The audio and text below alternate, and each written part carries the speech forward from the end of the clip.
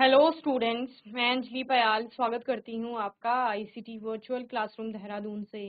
कैसे हैं आप सब लोग? उम्मीद करती हूँ आप सब लोग अच्छे होंगे और अपनी लाइफ में बहुत बेहतर कुछ कर रहे होंगे। आज हम बात कर रहे हैं क्लास टेंथ के साइंस की और जैसा कि आप लोग जानते हैं कि यहाँ पर प्रीवियस ईयर्स के क्वेश्चन पेपर हम लोग सॉल्व कर रहे हैं, जिस श्रृंखला में 2024 का प्रश्न पत्र हम लोग यहाँ पर हल कर रहे हैं, ठीक है ना? तो आज के सेशन में कुछ और नए प्रश्नों पर हम लोग बात करेंगे। तो यहाँ पर कुछ प्रश्न, इस पेपर के कुछ प्रश्न आपने सॉल्व कर लिए थे। लास्ट सेशन में हमारे पास प्रश्न था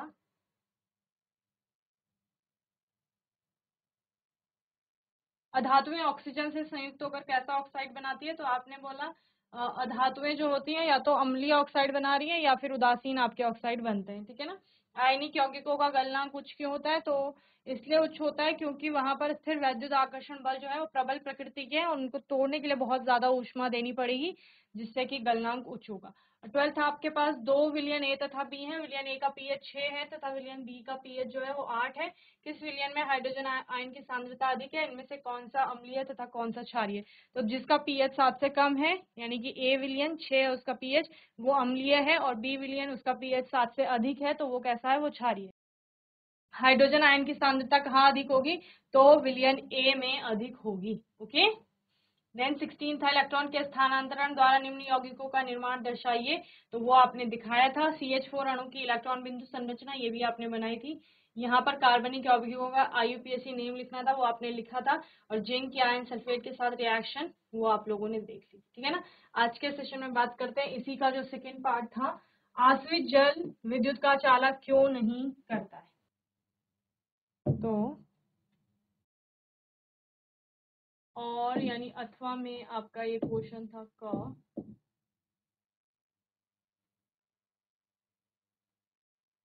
आश्रित जल विद्युत का चालक नहीं करता है, जबकि वर्षा का जल करता है। चलिए, लिखेंगे।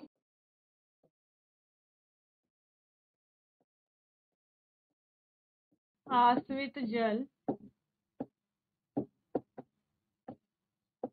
जल का एक शुद्ध रूप होता है।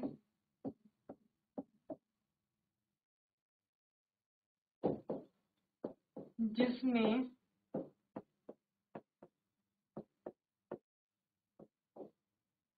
किसी भी प्रकार के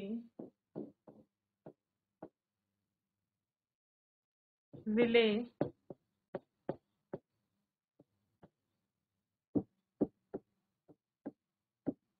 घुले नहीं होते हैं।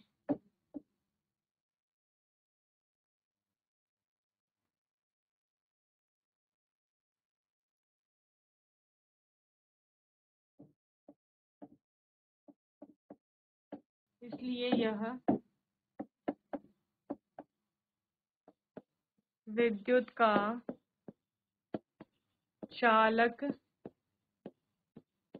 नहीं है क्योंकि इसमें आयन नहीं, ओके?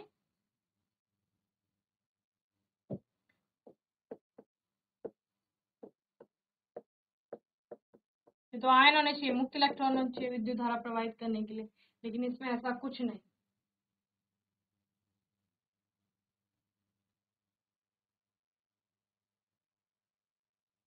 जबकि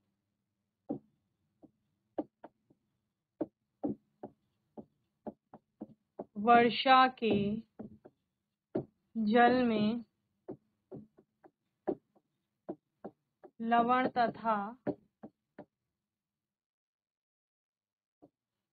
अम्ल घुले रहते हैं।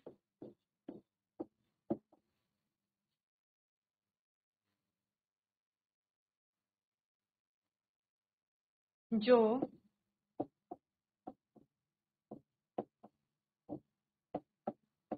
आयनों में वियोजित होते हैं या हो जाते हैं।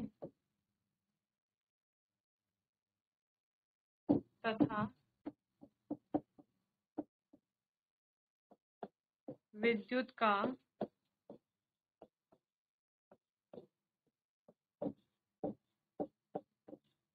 चालन करते हैं। Okay?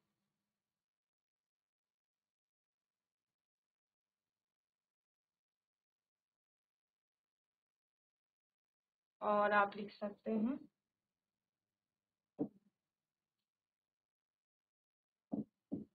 Because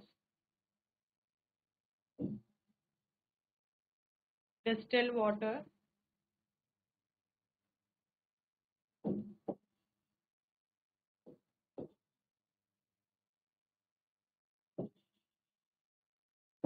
does not contain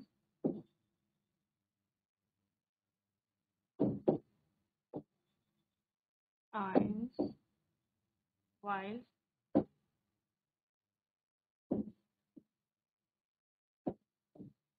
rainwater does. Okay.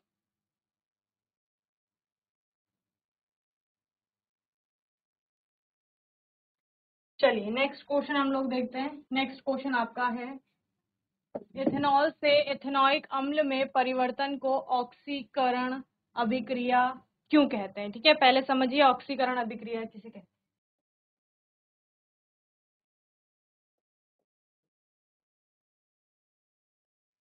ऑक्सीकरण अभिक्रिया में O2 का संयोग तथा H2 का ह्रास या वियोग होता है।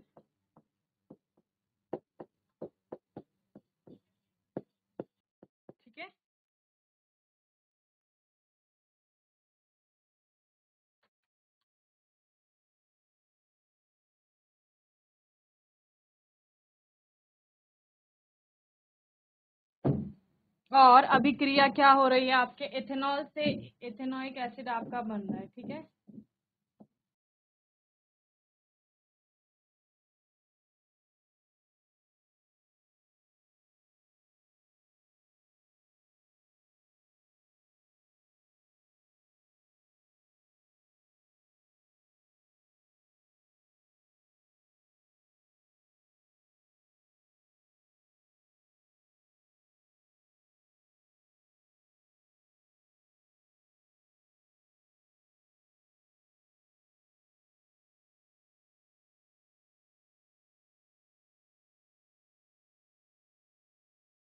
है तो देखिए ऑक्सीजन यहाँ जुड़ रही है, ठीक है? ऑक्सीजन जुड़ रही है और हाइड्रोजन हट रही है उधर।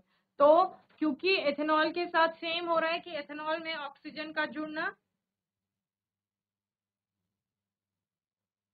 और हाइड्रोजन का ह्रास होना हो रहा है, इसलिए इसको ऑक्सीकरण अभिक्रिया कहा जा सकता है ओके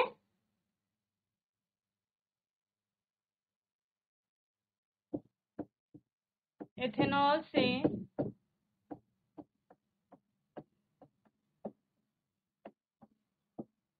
एथेनोइक अम्ल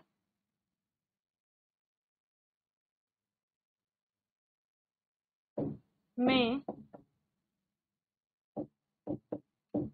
परिवर्तन की अभिक्रिया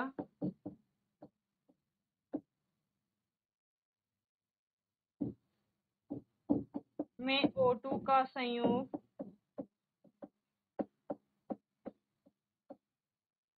तथा H2 का ह्रास होता है। अतः इसे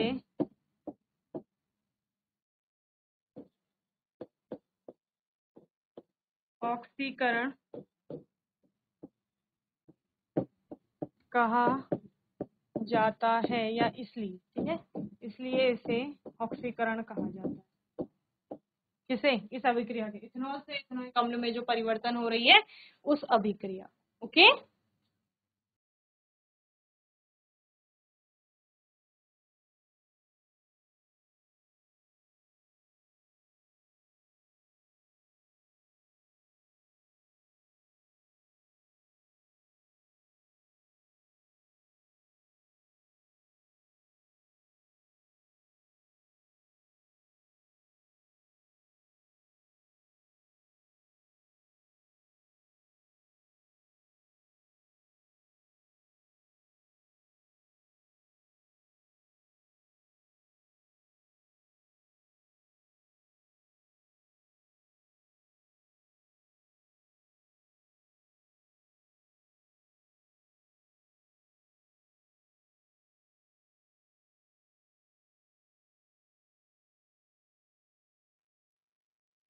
Question number twenty four है आपके पास। किसी पदार्थ X के विलयन का उपयोग सफेदी करने के लिए होता है, ठीक है? Solution of of substance X is use for white washing ठीक है? पुताई जो होती है, सफेदी जो की जाती है ना दीवारों पर, उसके लिए किसका उपयोग किया जा रहा है? एक पदार्थ का उपयोग किया जा रहा है जिसे एक्स से रिप्रेजेंट कर रहे हैं। तो किससे किया जाता है आपका? कैल्शियम ऑक्साइड, ठीक है? किससे किया जाता है? Calcium oxide, chemical formula A okay पदार्थ एक्स की जल के साथ अभिक्रिया का समीकरण लिखिए, ठीक है? ट्वेंटी फोर्थ है आपका तो एक्स का प्रयोग एक्स के विलियन का प्रयोग सफेदी के लिए एक्स के विलियन का प्रयोग किया जाता है, ठीक है? किया जाता है। ठीक है, उसका नाम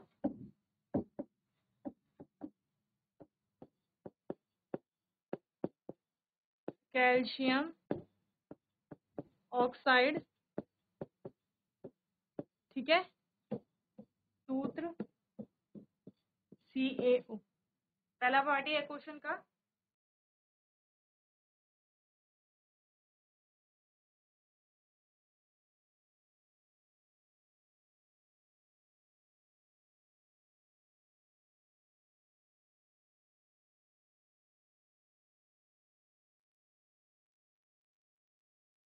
क्वेश्चन का दूसरा पार्ट क्या कह रहा है आपका?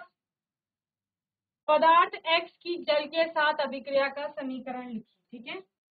ये क है और ये ख पार्ट है सी ए ओ की जल से अभिक्रिया, ठीक है? तो कैल्शियम ऑक्साइड प्लस वाटर इससे बनता है कैल्शियम हाइड्रोक्साइड।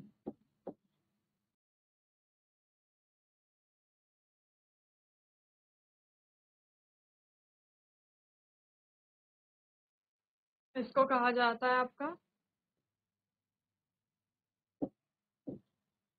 लाइम वाटर और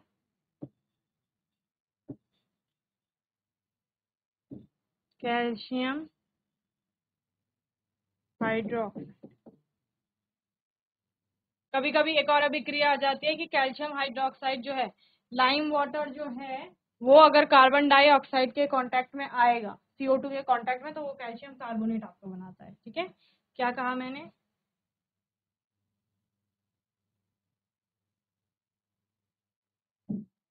सी ए ओ एच का होल टॉयल जब CO2 से रिएक्ट करेगा तो कैल्शियम कार्बोनेट प्लस वाटर आपका फॉर्म ठीक है?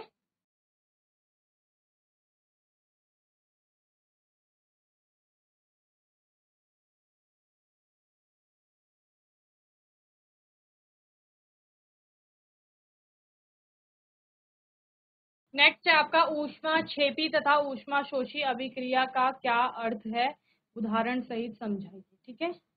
ये क पार्ट था ट्वेंटी फोर का, जिसके दो थे आपके पार्ट फ़र्स्ट और सेकंड वो हमने देख लिया। अब इसका ख क्या है? ट्वेंटी फोर का ख। ऊष्माक्षेपी अभिक्रिया एक्सोथर्मिक ठीक है ना? बताइए। छेपी तथा ऊष्मा शोषी अभिक्रिया क्या होती है? ऊष्मा छेपी अभिक्रिया में आप लोग क्या बोलते हैं? कि जो ऊष्मा है वो उत्पन्न हो रही है। ऐसी अभिक्रिया।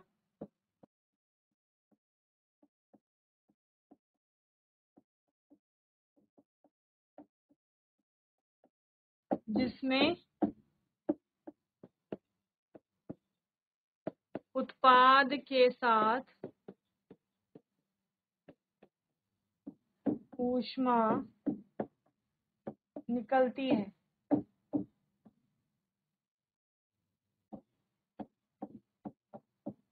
ऊष्मा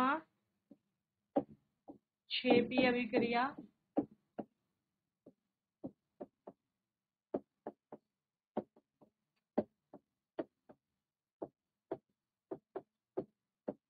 कहलाती है, ठीक है? और उदाहरण क्या है? कंबोशन की रिएक्शन जो भी होती है, वो ऊष्मा छेपी अभिक्रिया कहलाती है, ठीक है?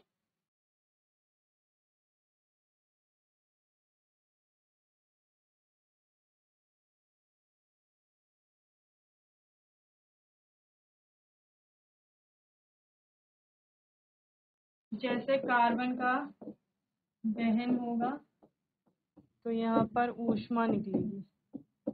ठीक है? और दूसरा क्या है इसमें? ऊष्मा शोषी।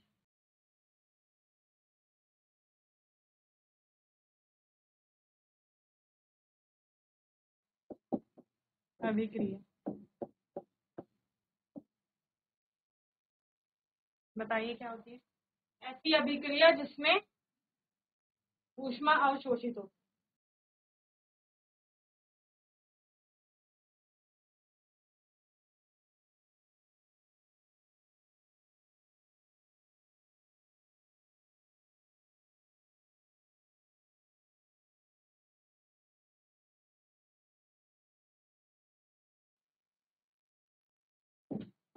ऐसी अभिक्रिया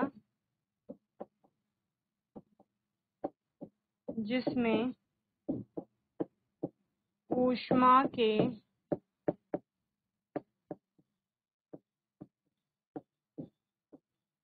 अवशोषण के बाद उत्पाद बनता है ठीक है ऊष्मा शोषी।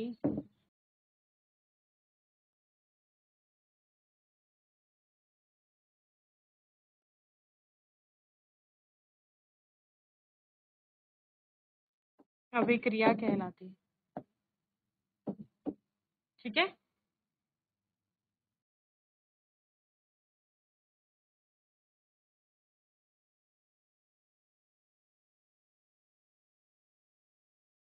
जैसे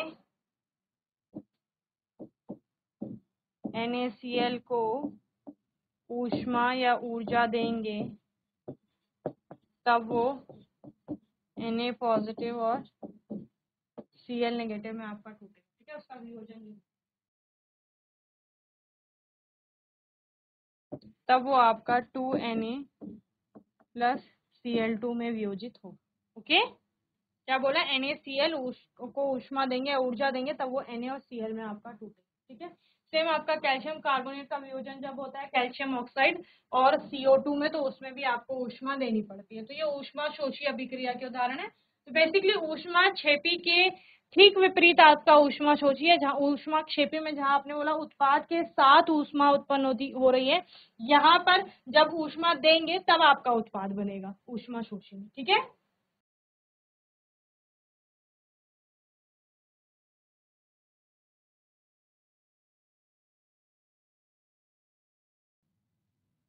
नेक्स्ट क्वेश्चन है आपका। क्या होता है जब, केवल रासायनिक समीकरण आपको लिखनी है, चूने के पानी में कार्बन डाइऑक्साइड गैस प्रवाहित की जाती है। ठीक है ना? Carbon dioxide gas is passed in lime water solution क्या होता है बताइए? लाइम वाटर सोल्यूशन क्या है आपका? अभी तो बनाया था सी एच का होल्ड सी एच का होल्ड प्लस उसके साथ carbon dioxide C O two provide की जाएगी। और आपने क्या बोला? कैल्शियम, कार्बोनेट प्लस वाटर बनेगा ओके सिर्फ़ रिएक्शन आपको लिखनी है। केवल रासायनिक समीकरण लिखिए।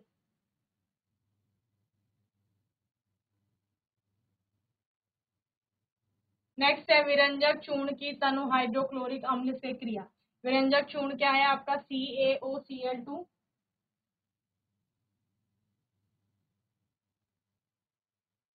C A O C L two plus किसके साथ अभिक्रिया करनी है? एच सी एल के साथ। क्या बनेगा? C A C L two बनेगा। एच टू ओ बनेगा। प्लस सी एल टू बनेगा। ठीक है?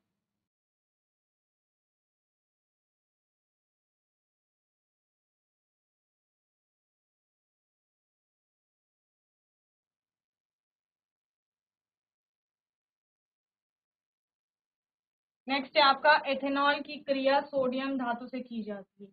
Ethanol C two H five O H plus N क्या बनेगा बताओ? सोडियम इथॉक्साइड आपका? सोडियम इथॉक्साइड बनेगा।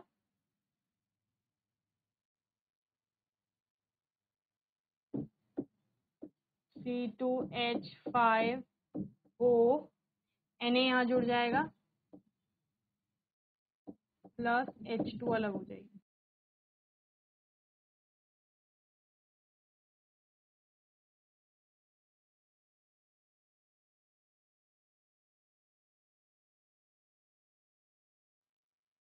दो मॉलिक्यूल इसके, दो इसके, दो। ठीक है?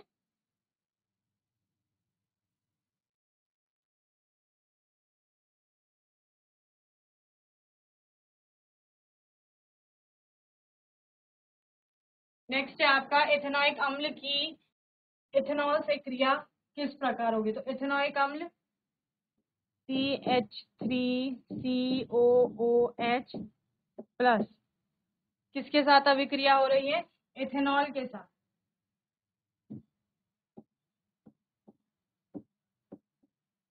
और क्या बनेगा आपका? बताओ। कौन सी रिएक्शन है आप? एसिडिफिकेशन रिएक्शन बनता है? इथाइल इथेनोइड बनता है।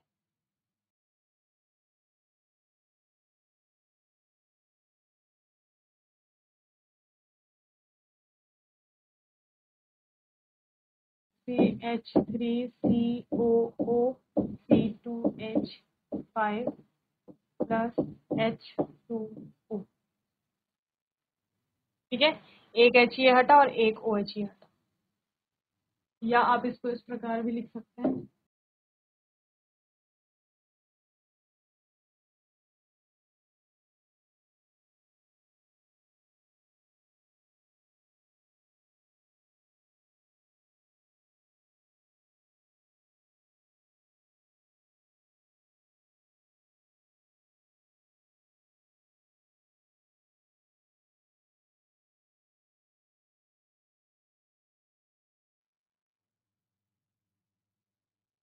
चलो ये हो गया।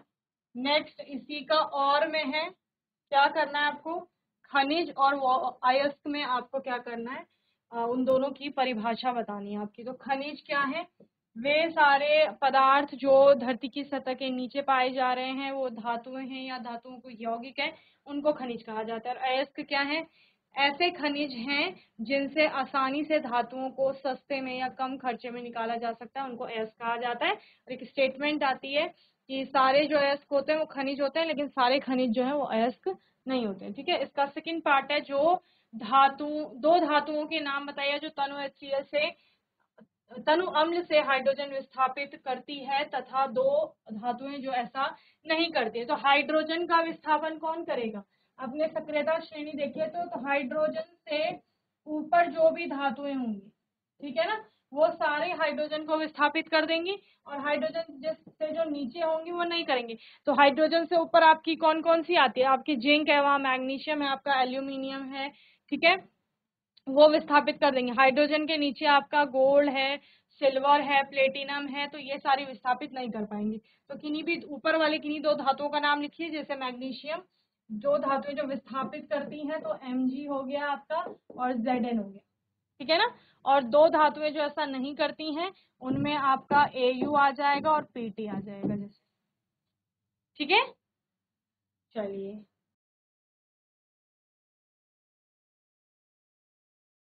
तो इस वाले क्वेश्चन पेपर में आपके इतने ही क्वेश्चंस थे केमिस्ट्री के। ठीक है?